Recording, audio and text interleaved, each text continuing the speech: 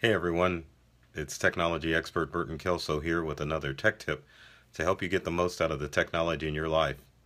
It looks like Google is going to retire Picasa.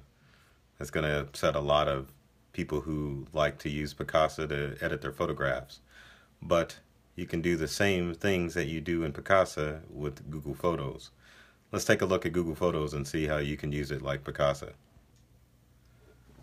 Google Photos uh, can be accessed from Picasa. But as you can see, Google is saying um, Picasa is going away.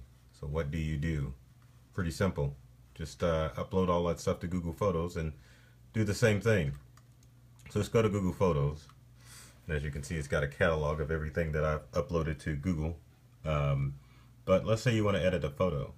Um, you can click on a photo um, and then you can go to edit up here at the top. And then it allows you to change uh, the photograph photo or the photograph properties just like you did in Picasa. Um, but then also too you can rotate the photos like you did in Picasa as well by clicking the rotate button so it's all web-based, which is great because that's less software that's on your computer. But uh, sometimes it's good to have software that is on your desktop.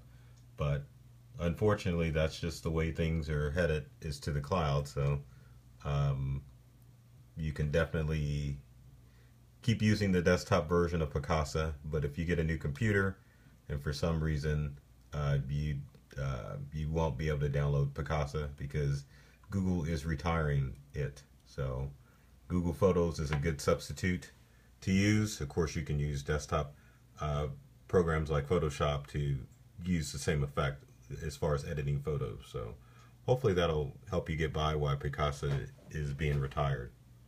And as always, if you've got comments or questions about this tip, uh, leave them in the comment section below. You can check out great tech tips like this one on our YouTube channel at Integral On-Site and Online Tech Support.